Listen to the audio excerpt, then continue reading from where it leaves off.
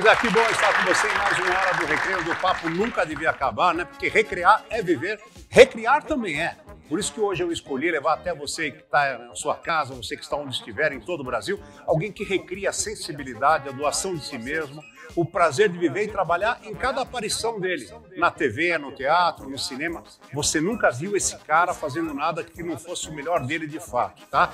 É isso daí. Estou falando aqui com o meu amigo, o nosso ídolo, Eric Johnson. Fala, Eric, seja bem-vindo, tudo bem? Tudo bem, Pardinho? Que beleza, que apresentação. Fiquei pensando, quem será que ele vai chamar, cara? Era eu. De repente, isso tudo. Obrigado, irmão. Obrigado pelo carinho. Não, pô, você é merecedor. Pô, você é um cara completo e que o público hoje vai conhecer um pouco mais de você. Eu pergunto para você, Eric, como é que é a sua hora do recreio? Eric Johnson, quando você não está em cena, não está gravando, o que é que você faz para se distrair? Ah, eu gosto muito de jogar bola, futebol, gosto de fazer uma sauna. Agora tem uma história de jogar um, um fute-tênis também, que é o... Que é o e tem o beat tênis, tem o tênis e o fute tênis. Então, é, mas eu estou sempre procurando me exercitar com aquilo que eu gosto, né? Porque eu não, não sou de academia, tá. tenho absoluta contra, mas também não sou um, um, cara que gosta de ir para a academia. Puxar o ferro, até deveria fazer isso, pode ser até que eu venha fazer. Mas o meu esporte mesmo favorito hoje é o futebol, continua sendo, e o futebol. Muito legal. Eric Johnson. Bom, tá aí o brinde às artes da maneira que todo mundo conhece, mas e o anônimo lá atrás, o Eriovaldo Johnson Araújo Oliveira? Na sua infância, os seus sonhos, como é que era antes de tudo, Eri? Fala um pouquinho da sua infância pra gente, o que, que você sonhava, conta para nós. Então, Pardini, na verdade, o Eriovaldo, né, esse nome é, não é o meu, meu nome é Eri Johnson Araújo. Tá. Alguém colocou Eriovaldo e, e eu não tenho absolutamente... De verdade, eu não tenho nada contra esse nome, que é feio, Eriovaldo, mas eu, eu acho que quem amo feio bonito lhe parece. O meu nome verdadeiro é Eric Johnson, uma palavra só, e o sobrenome Araújo. Entendi. Minha infância foi uma infância maravilhosa. Foi no, é, foi no subúrbio do Rio de Janeiro, Zona Norte, lá na, em São Cristóvão, onde eu soltava pipa na rua, jogava bola, bolinha de gude, pique-esconde, pique-dá, pique-ajuda, brigava na rua. Eu tive uma infância graças a Deus, de muita alegria, muita alegria, muita diversão. Soltava pipa. Tudo que uma criança gostava de fazer na minha época, eu fazia. E geralmente a gente não tinha. Os nossos brinquedos eram feitos de, com as nossas próprias mãos. A rabiola da pipa, a própria pipa, o hoje não politicamente correto, o cerol para passar na linha, futebol era na rua. Então eu tive uma infância perfeita, brilhante, com regra, porque só podia brincar muito se eu estudasse muito. Entendi. E antes do palco pela primeira vez, Eric, você chegou a trabalhar com algo totalmente diferente do Eric que nós conhecemos hoje ou não? Bom, na verdade, eu fui criado dentro do Vasco, né? do Vasco da Gama. Então, lá eu fiz a escolinha de futebol de salão, era criança, e do, do salão fui para o campo, onde era uma promessa, eu era ponto esquerda e todos achavam que eu seria jogador de futebol, e inclusive eu também achava, porque eu gostava muito de jogar bola. Só que eu descobri a televisão fazendo figuração em 1978, na novela Vez. E aí, quando eu fui fazer a figuração, cara, eu tive certeza absoluta que não era futebol, que a minha parada era com a arte. E surpreendi muita gente muita gente de casa, do Vasco, porque todo mundo fala, tá louco, cara, por que, que você vai querer ser ator? Ninguém, você não conhece ninguém, ninguém da família. Mas é, esse tipo de coisa não somos nós, Deus escolhe. Verdade. Agora, você que está assistindo a gente em todo o Brasil, por todos os seus canais por aí, se você acha que as coisas nunca começam como deviam começar para você, saiba que até o Eric Johnson, logo cedinho, dançou no começo da carreira. Literalmente falando, não foi assim, Eric? Conta para nós aí. É, na época tinha até um filme, que era Os Embalos de Sábado à Noite, com John Travolta, Olivia Newton-John. E aí virou uma febre no Brasil a dança de discoteca. E o já falecido, saudoso, comunicador de televisão, Carlos Imperial, uhum. ele fez um concurso de discotecas no programa dele, que passava todo sábado à tarde. Tá na televisão. E eu me inscrevi nesse programa representando a Tijuca. Então fui dançar. Ah, Hélio, você dançava bem? Não. Mas era uma maneira que eu tinha de ir para a televisão para aparecer. Uhum. E aí e aí, cada vez que eu aparecia na televisão, cada vez que eu tinha assistir uma peça de teatro, eu tinha foi crescendo a convicção de que era aquilo que eu queria para minha vida, aquilo que eu queria para sempre. Eu só não tinha entendido ainda que seria no palco que eu ia me encontrar mais próximo de Deus. Aí, quando eu percebi que isso era fato, aí eu falei: agora nada no mundo me tira daqui, do palco. Muito legal. Olha só, dançarino, ator, né? E acho que todo mundo já teve a oportunidade de, de, ver você fazendo essa praia que eu vou perguntar agora. A praia dos imitadores. Como é que você foi parar nela também, Eric? Então, é, eu comecei a imitar, na verdade, sem saber que eu sabia imitar. Porque eu, eu, eu quando eu contava história para a galera, uhum. eu geralmente contava as histórias é, interpretando os personagens das histórias. Tá. E aí, quando eu fui falar de um macaco, eu acabei imitando o macaco, o andar de um macaco. Aí eu falei, cara, eu sei fazer o macaco. Como eu já era muito amigo do Romário, há muitos anos atrás, e eu achava sempre muito engraçado o jeito que ele falava, o jeito que ele andar. E eu falei, cara, se eu sair do macaco e fui pro Romário, dá uma, dá uma montagem boa. E aí comecei, fui imitando ele, fui imitando Alexandre Frota, Caetano Veloso, Leila Torraca, Roberto Carlos. Aí eu fui, quando eu vi, eu estava imitando um monte de gente, mas assim, na verdade, é, eu não chamo nem de imitação, é uma pequena homenagem que eu presto a essas pessoas que eu acho que são de destaques, independentemente de, de religião, de partido político.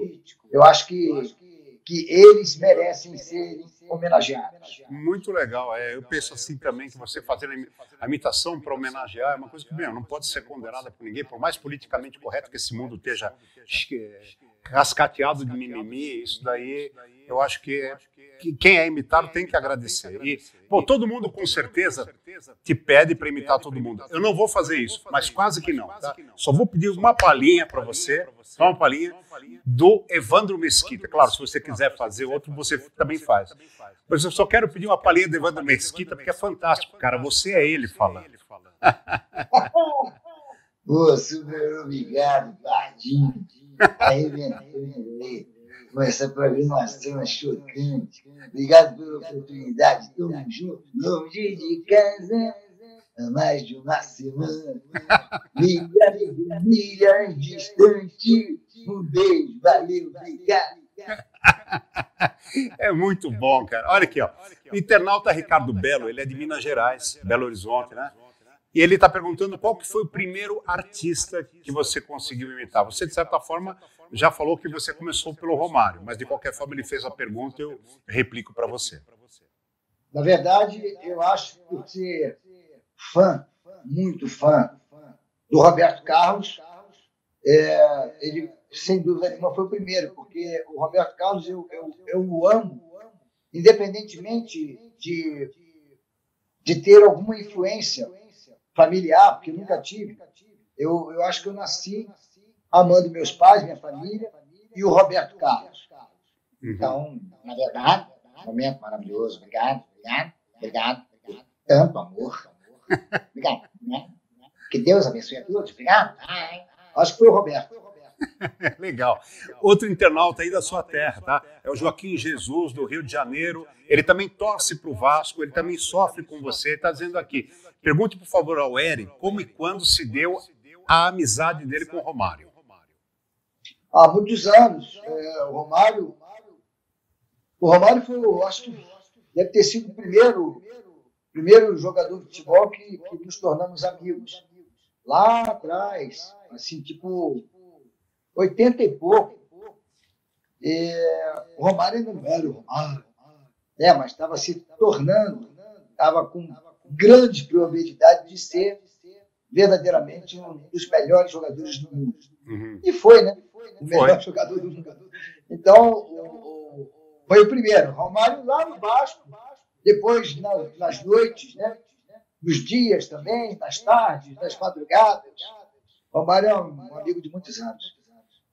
Muito legal. Agora, fala uma, uma curiosidade minha. O Eri, é, o Eri, o, o, o Bebeto, você fazia na, na escolinha do professor Raimundo, né? É isso? Era, era uma obra sua ou você interpretava uma obra do Chico? Como é que era? Chico, Chico eu, eu, nunca, eu, nunca, eu nunca me imaginei participando de um programa como a escolinha do professor Raimundo, porque ali eram vários mestres. Só que o Chico Anísio foi me ver no teatro e ele falou, cara, passa por lá, passa por lá, a gente cria um personagem, qualquer coisa, mas passa por lá. Eu passo, você é um mestre, eu, eu passo, mas é, não é a minha. Mas uhum. eu faço questão de ir lá, aprender com todos vocês, observar, enfim. Mas é, fiquei pouco tempo, fiquei dois meses, logo fui fazer a novela de corpo e alma, ótimo.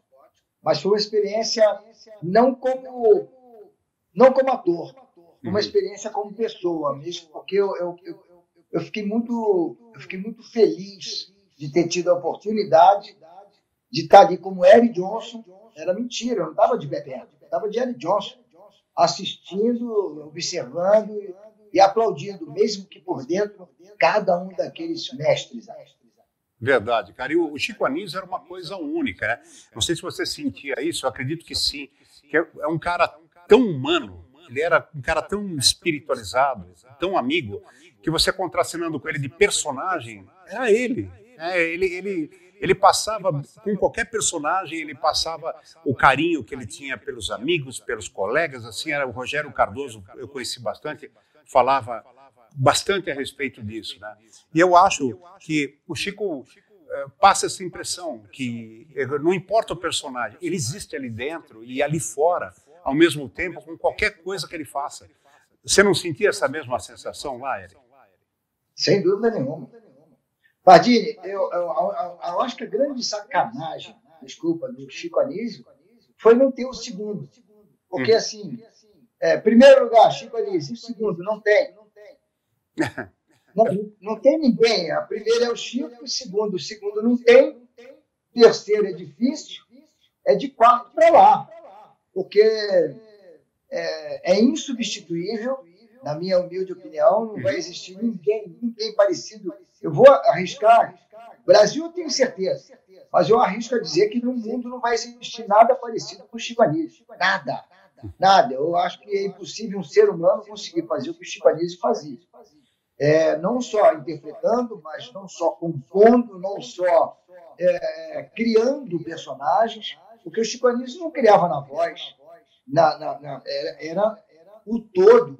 Verdade. É, quando, vinha, quando vinha de painho, você tinha certeza absoluta que aquele painho não era interpretado pelo mesmo ator, comediante, humorista, compositor, cantor, autor, diretor, porque não é possível um cara fazer o painho e esse mesmo cara fazer o palhado. E esse mesmo cara que faz o palhado e o painho faz Salomé.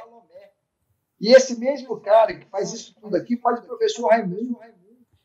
Aí você fala assim, mas são pessoas muito diferentes. Muitos. E aí, se a gente for ficar aqui falando, são 243 personagens é. criados e interpretados brilhantemente por um único.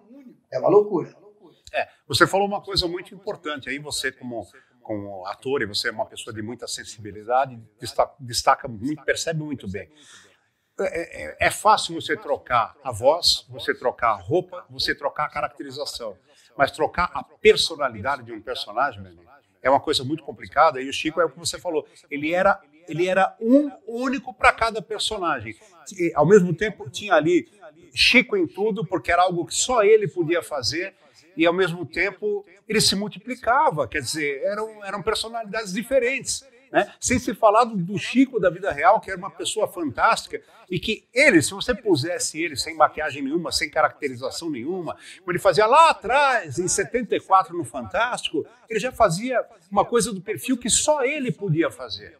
Sem maquiagem, sem nada. É, e que hoje a molecada está aí, e tem um monte de cara que se vangloria, que se acha que descobriu o stand-up comedy, que que está fazendo algo revolucionário, que nada. O Chico fazia isso em 74, em rede nacional, com uma puta responsabilidade e com maestria. Né? Eu acho que, acho que realmente tem, tem acho que todos nós somos únicos. Né? Mas eu acho que tem pessoas que, além de ser única, ela vem para ser unicamente lembrada. É o que você falou. Não vai ter o número dois para o Chico, cara. Entendeu? Não vai existir o número dois para ele, né? Eu acho que assim, para qualquer um que esteja começando, que já tenha começado, que se, se por, porventura se achar muito bom, assiste qualquer coisa de Chico Anísio. Verdade. Esse, esse, muito bom cai por água abaixo. É uma, é, é, não é terra abaixo, não. é água abaixo, é para sempre. É. Vai lá para profundidade. Não dá. Infelizmente, quando você se achar muito bom, preste atenção no Chico Anísio. Verdade. E, e, eu sempre digo que o, a, o gigantismo está na humildade. E ele era um gigante de mil e uma facetas e era um cara humilde, cara, humilde. Eu era criança, ele estava se apresentando no extinto Teatro Aquários aqui em São Paulo e eu escrevi uns textos a, a máquina de escrever, na época não tinha computador, e eu fui lá brigar para entregar para o Chico. E o Chico não, não era ninguém, não, não conhecia, era um office boy, sei lá. E eu lembro que eu cheguei ali na entrada do corredor Aquários, chapado de imprensa. Ele estava fazendo um espetáculo que era Chico Total, era o nome do espetáculo. E aí um, um, ele tinha um segurança que depois tornou amigo, que era um gigante, João. Um instante que ele abriu a porta do camarim no final do corredor, eu driblei o João. Eu, eu fui, eu fui para a parede e o João correu atrás de mim e me segurou na parede. E aí o Chico lá do camarim gritou, pô, o que, que foi aí? Aí eu gritei, eu falei, não, Chico, eu queria. Eu tava com papel na mão, enroladinho, só desenroladinho. Eu falei, Chico, eu queria te entregar esse texto, só, só queria. Ele, pô, deixa o menino passar aí.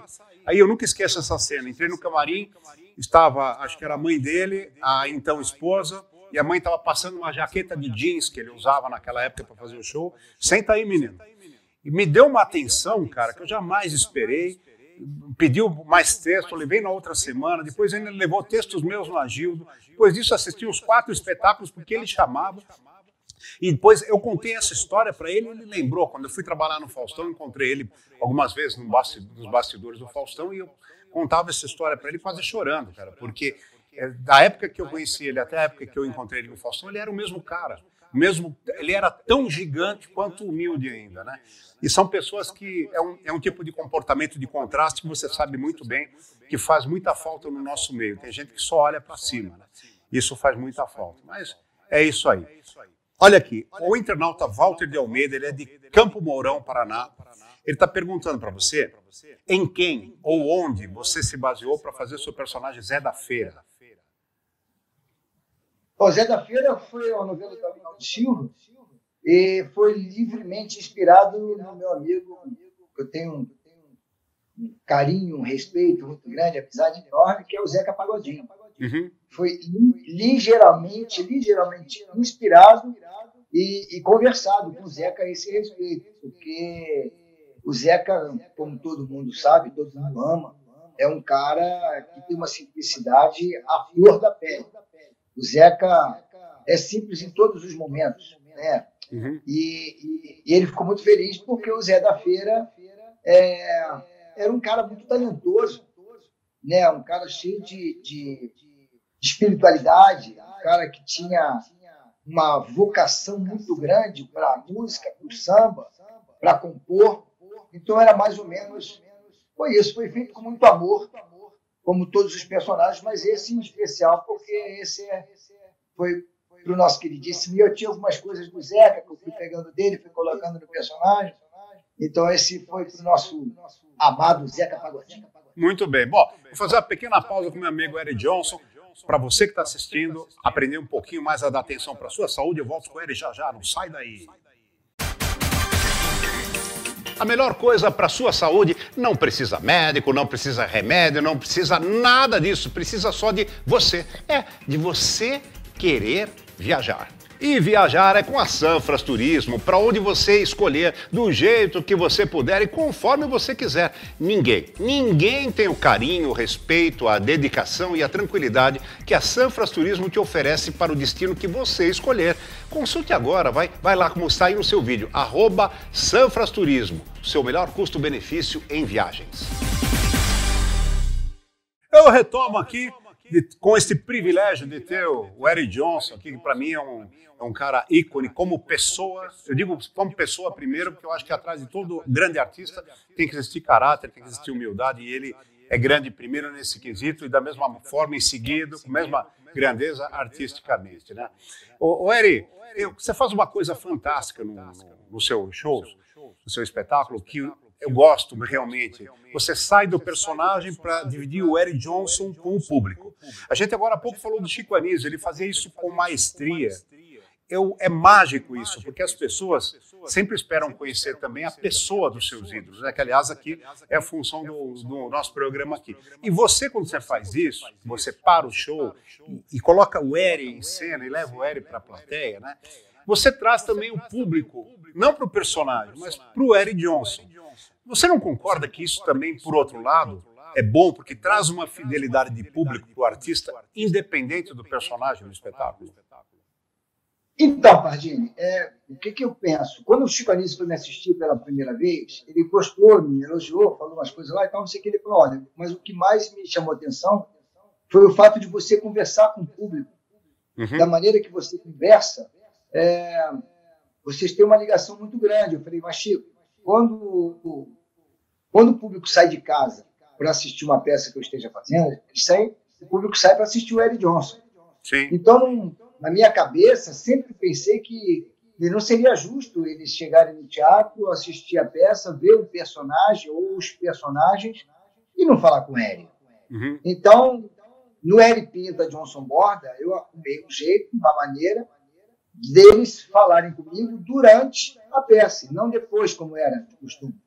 Hoje, durante a peça, como você mesmo assistiu, eu tenho abrir uma janela que eu de plateia para que a gente possa tirar foto, para que a gente possa falar, para que possa reclamar, qualquer coisa, para que tenhamos a oportunidade de estarmos juntos, Eric Johnson de verdade, com aquele que saiu de casa generosamente para me assistir.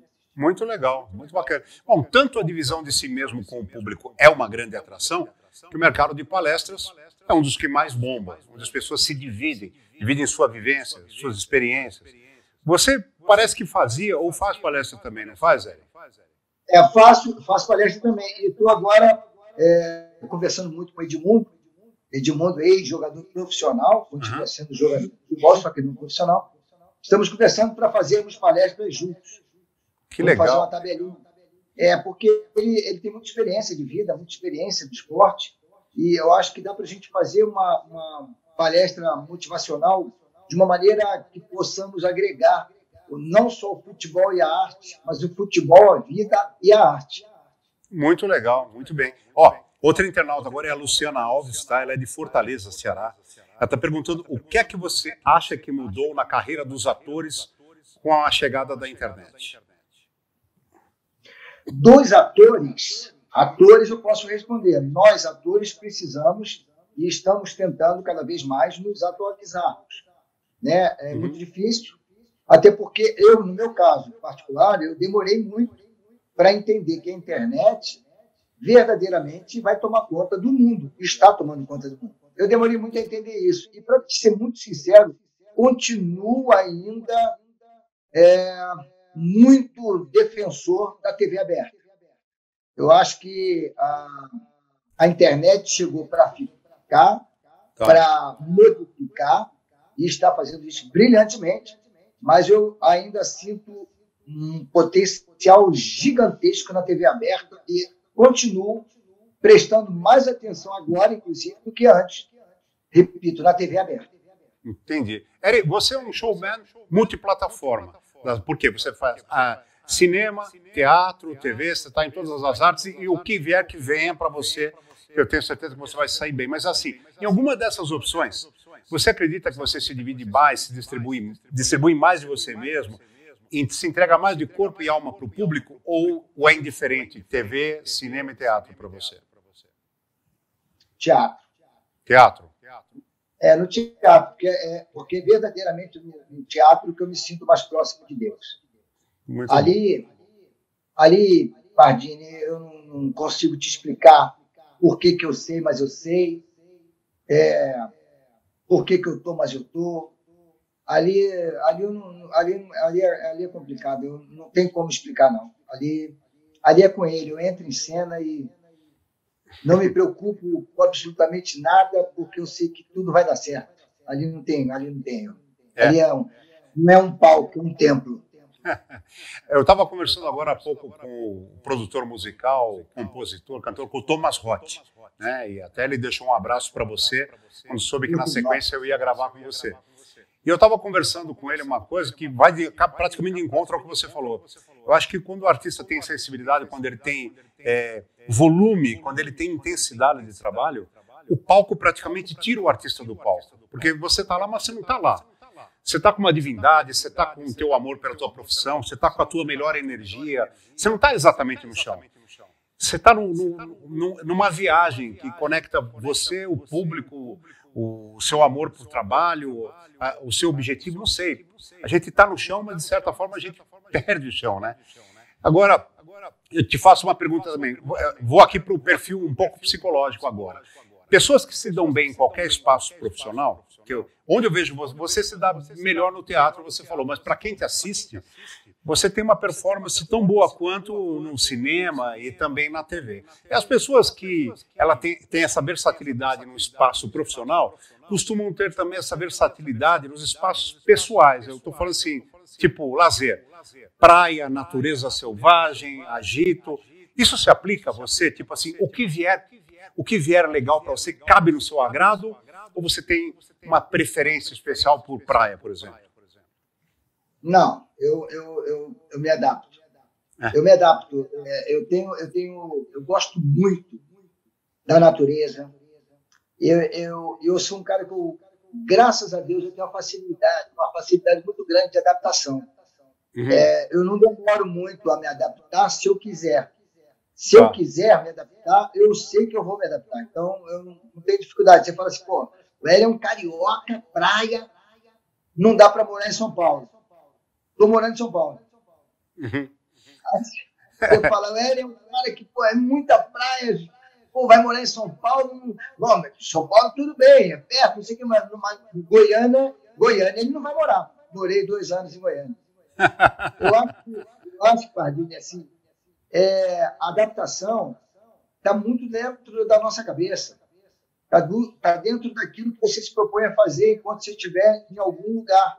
Se eu estou em São Paulo, São Paulo vai ser, enquanto eu estiver morando aqui, uhum. eu comecei a morar aqui ontem, ontem, literalmente ontem. Se eu estiver morando aqui, e o tempo que eu for morar aqui, eu vou ser feliz como eu nunca fui. Eu não tenho dúvida disso. Com certeza. Eu não tenho dúvida. Porque eu não escolho morar em São Paulo por outro motivo que não seja arte. Uhum. Por outro motivo que não seja levar o que Deus me deu para maior número de pessoas possível. Então, morar em São Paulo para mim é moda, já chego adaptado. No Brasil, vou ser muito sincero, no Brasil, em qualquer lugar que eu vier a morar, uhum. eu estou adaptado. É Brasil. Entendi. Uma coisa assim, você voltando ali agora para o seu gosto musical, mas ainda falando da sua sensibilidade. Bom, por tudo que você falou uh, do Roberto, eu suponho, e mais do que suponho, acho que eu posso ter certeza que ele ia ser o maior ídolo na música, não é? Então, tudo. Então, aí eu pergunto para você o seguinte: as pessoas, elas são nelas o que elas são. Você é em você o que você é, eu sou em mim o que eu sou. Assim, as pessoas são nas demais, no próximo, o que elas passam para o próximo. Então, o que o Roberto Carlos assim que passa de tão diferente de todos os demais que te torna ele tão único? O Roberto Carlos, com o sucesso que ele tenha, 61 anos, o Roberto Carlos ainda recebe no camarim dele, depois do show, é, dezenas de pessoas. O Roberto Carlos entra em cena com um respeito, com um amor, um carinho, uma generosidade cênica ímpar. O Roberto Carlos, ele canta o amor, ele canta a família, canta a natureza, canta a fé, independentemente da religião. O Roberto Carlos, fora isso tudo, é é de um carinho, é de um respeito, é de uma generosidade. Eu tenho muito orgulho de fazer parte do projeto Emoções em Alto Mar, tenho muito orgulho de fazer parte da equipe do Roberto Carlos. e tenho muito orgulho, porque falam assim, ah, é, é, muito chato conhecer o ídolo, porque depois que você conhece, o ídolo deixa de ser ídolo, porque o ídolo não era tão assim quanto você imaginava. Verdade. O Roberto, não é? O Roberto Carlos, é... e aí é mais uma coisa que Deus faz por mim, de tantas, de milhares. O Roberto Carlos, ele continua sendo não só meu ídolo, mas aquilo tudo que todo mundo fala quando você encontra um ídolo, o Roberto Carlos ficou ainda mais, mais sendo meu ídolo depois que eu passei a conviver com ele. É, o Roberto ele parece uma entidade em vida, né? É, é, é verdade, cara. Eu, eu, nós fomos uma vez com o nosso grupo de Moro Café com Bobagem fazer um show para uma montadora de caminhões em São Paulo. O staff dele, parecia que o staff dele ele tinha 22 Frank Sinatras. E ele era o Cabo Man porque ele era o cara mais simples. a gente estava ali no, preparando para a gente fazer um negócio, ele subiu do nada, ele subiu, era um palco montado, hein, boa tarde para você, aquele jeito dele. Eu pensei que era alguém imitando, achei que era uma brincadeira. Falei, não, eu olhei para trás e falei, não vai ser o Roberto, era o Roberto. Então, assim, uma cara é, é, é, de, é de uma simplicidade, é de uma coisa, como vi uma vez também no, no Faustão, que ele, ele, foi, ele entrou no palco para passar o som, aquela coisa dele, o palco todo branco, as caixas de som tudo branca, e, e, e, antes de começar o programa do Faustão, ele entrou para passar o som e eu e eu estava ali, trabalhava com o Fausto. E aí uma senhora da, da, era no Teatro Fênix ainda, isso, não era em Jacarepaguá. E uma senhora tadinha de limpeza, ela ficou olhando parada, parada. Ele virou para ela: Você quer, quer falar comigo? Ele chamou ela. Ele ainda esperou ela ir conseguir uma máquina fotográfica lá dentro para tirar uma foto com ele. E a gente não está falando de um Zé Mané que começou ontem num karaokê e gravou seu, sua, primeira, seu, sua primeira faixa MP3. Nós estamos falando de um, cara que é, um, que é o rei da música, né? Então é aquilo que eu estava falando lá no começo para você, né? Que eu acho que o gigantismo das, das, pessoas é proporcional à sua humildade. E o Roberto é um, é um exemplo disso daí, né, cara? Bom, mas... Eu tive, eu tive, Pardini, eu tive a felicidade de, e tenho, eu tive a felicidade de conviver com Chico Anísio, e ter a felicidade de conviver com o Roberto Carlos. Uhum. É... E aí, cara, eu, eu, eu digo para você que não dá para a gente ser diferente desses dois uhum. nesse universo aqui, porque nada, ninguém se compara a esses dois nas suas áreas. E a tranquilidade, a generosidade, o olhar de carinho, de atenção, de amor uhum. é enorme sempre foi de Chico e do Roberto sempre será. Não tem como você não ser desse jeito, não seguir esse tipo de exemplo, para que você possa, pelo menos, pequenininho, pequenininho, pelo menos ganhar o carinho e atenção de alguém por conta da experiência que você vivenciou com esses caras. Muito legal. Ó, agora eu te, vou te perguntar uma coisa assim. Se a sua vida fosse um filme, Eric, fosse um filme, que trecho, que momento você diria, peraí, dá um replay nisso que foi bom demais? Tem algum momento assim que você lembre? Quando eu comecei a entender que Deus era a coisa mais importante na minha vida. E, e, o contrário, tem alguma coisa na sua vida, algum momento que se você pudesse editaria, você fala, não, não, corta isso aí que é melhor esquecer. Existiu alguma coisa assim para você? Pô, vários momentos. É? Vários Verdade. O Pardini, o que eu já errei é uma, uma absurdo. Eu pretendo não errar tanto mais, mas eu já errei muito. Mas se eu errar daqui para frente a metade, eu estou no lucro. É, mas é, os erros é que nos conduzem aos acertos, né? É aquela história, eu sempre digo, só faz gol quem não tem medo de perder o chute, velho. Porque se você não arrisca, né? Você jogando é difícil fazer o gol, sem jogar é impossível. A gente não pode ter medo de erro. Se você tiver medo de erro, você não sai do lugar. O piloto não sai, o piloto não vai para a pista, o jogador não vai para o campo, a gente não vai para a vida. Você não pode ter medo de errar. O erro faz parte, como o acerto faz parte, né? As coisas sinônimas, é, por exemplo, você tem o defeito e a perfeição. Os dois convivem juntos. Um é oposto do outro, mas ao mesmo tempo um não existiria sem o outro e os dois são fundamentais. Então, acho que a relação de erro e acerto na vida também é a mesma coisa. Agora, eu pergunto para você, não é? Uma pergunta clássica aqui do programa, uma dobradinha. Se tudo isso não tivesse rolado para você, Eric, se não fosse o Eric Johnson que a gente conhece e aprecia e aplaude tanto hoje. O que, que você acha que você poderia estar sendo hoje e o que é que com certeza você acha que jamais você poderia ser? Ah, eu poderia ter sido jogador de futebol. Uhum. Poderia, mas hoje não, né? Mas eu poderia ter sido jogador de futebol. Eu poderia. Eu poderia. Sei lá, rapaz, eu poderia tanta coisa, eu poderia até. Até estar no, no, no lado errado da vida. Uhum. Eu poderia. Eu poderia não ter feito nada disso, nada disso, e ter sido um psicólogo, uhum. dentista, mas qualquer coisa que eu viesse a ser, pode ter certeza que eu iria me esforçar para ser diferente. E o que, que você acha que você nunca teria capacidade? Não, isso aqui não é para mim. Ah, ser bandido, matar os outros, ladrão, não, aí não. Isso não. Marginal, nada disso poderia. Muito bom. Ari, infelizmente, eu gostaria de conversar com você o dia inteiro, mas infelizmente nosso tempo é curto. Para terminar, preciso te perguntar se a sua vida fosse um livro, como é que se chamaria esse livro e a quem você dedicaria ele? O livro seria Gratidão a Deus. Uhum. E, e é dedicar a todas as pessoas que vão ao teatro me ver. Vão e foram. Uhum. Irão. Muito legal. Eric, quero dizer uma coisa para você do fundo do meu coração.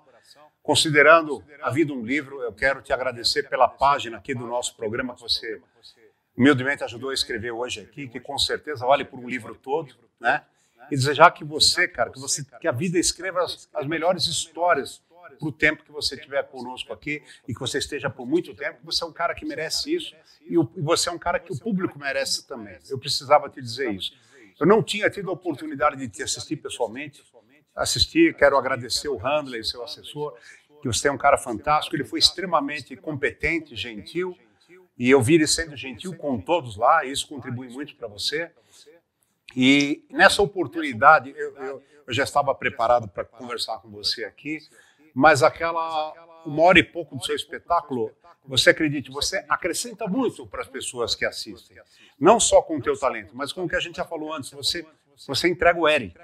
Isso é uma coisa muito importante, sabe? Porque um pouquinho de você naquele instante é tanto para as pessoas que vão lá para conhecer o Eri antes do personagem. E você faz isso com maestria, como eu já falei, e estou muito honrado de, de poder ter o privilégio e o merecimento de ter tido você aqui. Desejo a você muito mais reconhecimento, muito mais sucesso, saúde, e que essa sua alegria não permaneça assim, não. Seja pouca ainda. Que ela se multiplique. Tá bom? Muito obrigado.